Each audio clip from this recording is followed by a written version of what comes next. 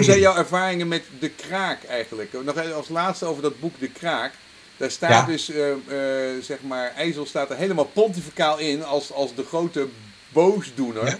Wat bedoelde Ja. je met die kraak? En, en, en wie is, is zij ook bedoeld in dat boek als de grote boosdoener? Of eh, is dat, was dat meer omdat ze ook een fantastisch plaatje op die voorpagina, eh, zeg maar... Ja, zij was natuurlijk sowieso een fantastisch personage. ja. hè? Dus dat, want ik had ook nooit verwacht dat ik ooit een boek ga, zou gaan schrijven over een perifeer ziekenhuis. Hè?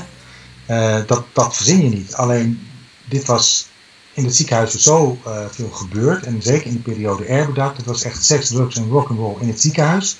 Dus dat is fantastisch. eh. en elke keer kwamen wij, Bas en ik, kwamen op verhalen. dachten, dit kan niet waar zijn. En dan bleek het nog eigenlijk de milde variant van, van de werkelijkheid te zijn. Dus vandaar dat het zich fantastisch leende eh, voor een boek. En de kraak van de Slotervaart, ja, dat kan je op allerlei manieren interpreteren. Ja, nee, maar dat was voor ons eigenlijk. De prooi, je had de prooi van eh, Jeroen, eh weet je Ja, wel, ook van Jeroen. ja. En de prooi, wie was nou de prooi? De ABN AMRO, weet je, was eigenlijk verkocht voor 70 miljard. Het was eigenlijk gewoon de sale of the century. Het was echt gewoon degene die de prooi waren, waren die arme aandeelhouders die dat ding hebben. Ja, En bij jou de kraak, vraag ik me af, is nou, is nou eh, IJssel, is dat nou de grote, de grote kraker? Eh, is zij, heeft, maar- want zij heeft een oud ziekenhuis wat gewoon vol met problemen zat.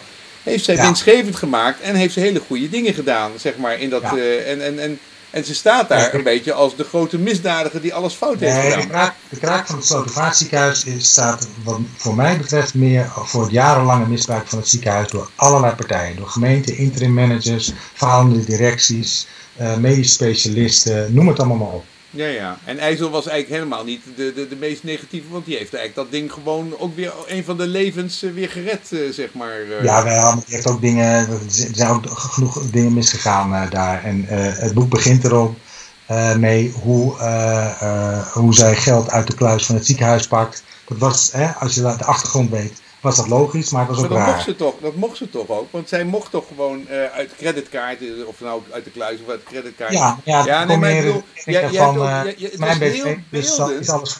Het is heel beeldend hoe je, dat, die, hoe je die voorkant en die introductie, Ja. ook eh, die introductie van het boek, dan denk je, nou dat is echt de, de slechtste. En al die toneelstukken die van haar geschreven zijn en zo. Zij, heeft even, zij, is, zij is ook wel een beetje de Nederlandse manier dat wij een grote heldin hebben. En dat we die daarna gewoon helemaal, zeg maar, Ja. voor, voor, eh, van, het, van het maaienveld wegsnijden. Is dat Ja. ook niet een beetje als. Heb je niet al- daar ook een beetje gewoon van eh, dat, dat gebruikt als schrijver om dat boek ook weer een waanzinnig succes te maken eigenlijk?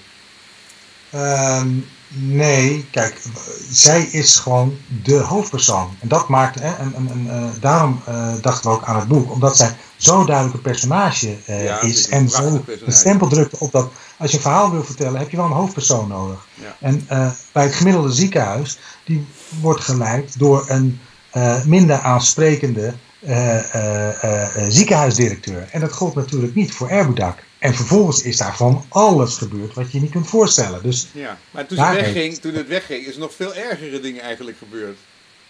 Ja, maar eh, eh, ik denk dat eh, ook Loek Winter en de boer, Willem de Boer, minder tot de verbeelding spreken als personages als je nou bijvoorbeeld een film wil maken. Ik zeg Daar maar. Hè? daar heb je helemaal gelijk in. Ja, ja, Zij ja. komen, het, de ene is een ex-bankier en de ander komt gewoon uit de zorg en is heel erg al decennia aan het ondernemen in de zorg.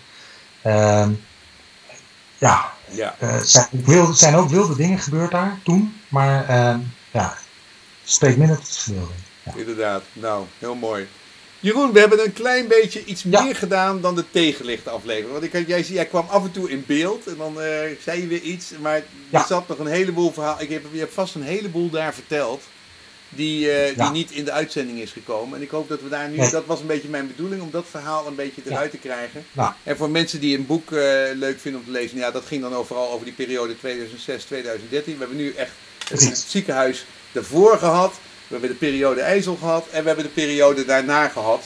ja, dus eh, we hebben nu echt een prachtig verhaal van eh, anderhalf uur. Ik ga het een beetje in stukjes opdelen. Maar ik vond het gewoon super boeiend om te volgen over een heel klein ziekenhuisje in Amsterdam. Wat de gemoederen op een ongelofelijke manier bezig heeft gehouden. Waar we ook nog een heleboel van kunnen leren eigenlijk. eh. yes. En dankjewel voor je tijd. Echt super. Gedaan, Vincent. Top. Oké. Okay. Ja, hoi. Jongen, we hebben dit een tijdje geleden opgenomen, dit interview. En 9 september is nu de rechtszaak eigenlijk. Ja. Wat staat daar op het spel en waar gaat het om? Uh, daar wordt mevrouw Ermdak uh, verdacht van diefstal, verduistering, valsheid in geschriften. Uh, mm. En het gaat om transacties die plaats hebben gevonden in 2008. Dus dat is elf jaar geleden. Elf jaar geleden? Ja. het is echt het recht. Het recht moet zijn loop hebben, maar het duurt, het duurt dus gewoon echt gigantisch lang voordat dit komt. waarom heeft dit zo lang geduurd? Dat, dat weet ik niet precies. Ik weet wel dat uh, Erbedak is in 2014 verhoord hiervoor, voor het laatst. Een paar keer. Ja. Uh, en sindsdien heeft, het, uh, ja, heeft, heeft de zaak verlopen tot nu. De vervolgbeslissing is twee jaar geleden ge genomen. Ja. Dat was dus in najaar 2017. Dus toen heeft OM gezegd na strafrechtelijk onderzoek van ja, wij willen deze mevrouw gaan vervolgen. Uh, en vervolgens heeft er toen een regiezitting plaatsgevonden. Dat is een soort hè, een, een, een proforma zitting. Ja. En daarbij heeft de verdediging van Erbedak heeft nog gevraagd om allerlei getuigen te laten horen. Dat is toegewezen. Dus de afgelopen twee jaar zijn allerlei getuigen nog bij de rechtercommissaris gehoord in deze zaak. En dat zal de komende week in die strafzaak ook aan de orde komen, wat dat heeft opgeleverd. Hoe lang gaat zo'n zaak duren, zo'n rechtszaak? Dit hier zijn twee uh, zittingsdagen voor ingeleverd. Inge... Oké. Okay. Elf jaar later. Hey, weet je nog wat voor transacties uh, het waren? Want ik weet nog wel, want ik heb toen gevraagd aan haarzelf en zij zei van ja, ik had 50%, hij had 50%, wij overlegden dat gewoon met elkaar. Ik kon dat gewoon ja. volledig doen met zijn instemming. Ja. Um, en dat was 2008. Toen was zij ja. nog stevig in het, stevig in het zadel en had ze ook een goede relatie met Jan Schram. Waar, is zij nu, waar wordt zij nu van verdacht? de transacties zijn eigenlijk twee typen transacties. Eén is een investering van uh, 1 miljoen euro van het ziekenhuis voor een project in Turkije. Daar, was, daar waren Stram en Erbedak privé bezig met een ziekenhuis dat ze daar hadden en aan het opbouwen waren. dat is via een andere vennootschap die geheel hier buiten staat, een, een, een ziekenhuisbouwer, zeg maar. Ja. Een aannemer die gespecialiseerd is in, in bouw van ziekenhuis, uh, is daar uh, geld naartoe gegaan. Uh, en dat is eigenlijk nooit teruggekomen. En dat is wel privé deels gebruikt. dus vandaar dat OM hier diefstal ten laste legt. Of verduistering en dan subsidiair diefstal, et cetera, et cetera. Oké. Okay. Het andere is vergelijkbaar, is ook een transactie. Toen is er dus twee ton uit het ziekenhuis naar een bedrijf in Rotterdam gegaan. Daarvoor kwam een aandelenparticipatie terug, maar die werd niet geleverd aan het ziekenhuis, maar die is aan Erbedak geleverd, of een bedrijf van haar, van Erbedak. Uh, en dat ziet dus de justitie als ontvreemding, hè? Uh, want het is, er ligt geen rechtsgrond ten grondslag aan die, aan die levering van die, van die aandelen. Nou ja. Maar uh, nou, de verdediging van Erbedak, dat zullen we dus horen volgende week. Maar die zal ook zitten dat, dat dat verkeerd geadministreerd is. Dus dat er dus in de afhandeling wat fout is gegaan. Dus er wordt niet ontkend dat die, dat die bedragen zijn overgemaakt en dat die aandelen zijn geleverd. Nee, dat is allemaal totaal, ja. dat is totaal ja. in de openbaarheid gegaan, zeg maar. En die 1 miljoen die was ook volgens mij toen bedoeld omdat ze een luchtbrug wilden maken van Slotervaart naar Turkije. Ze wilden ze iets gaan ja, doen qua innovatie. Ja, klopt. En, uh, het ziekenhuis daar in Turkije zou zich vooral gaan richten op astmatische patiënten. Of CARA, COPD.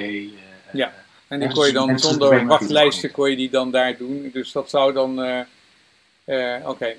Nou, dus dat, en dan, dus dat hebben twee zittingsdagen en daarna dan krijg je een paar weken later krijg je een uitspraak daarover. Ja, ja. God, zo lang later. Wat? Ja. Jongen, jongen, jongen. Nou, oké, dat is dan interessant hoe dat, uh, hoe dat uh, ziet. Uh, heb jij daar een, een, indruk van? van ja, als zij ja, het is heel moeilijk om, dat, om daarover te oordelen. Hè? Ja. Het ligt nu om, om, aan de rechter.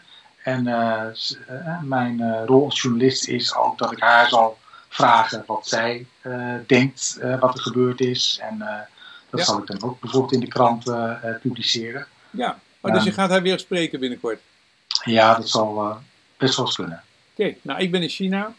Ja. Ik kan er niet bij zijn, maar eh, ik ga het gewoon lezen. Dankjewel, Jeroen. Goeie reis. We spreken elkaar daarna. Dank je. Oké, prima.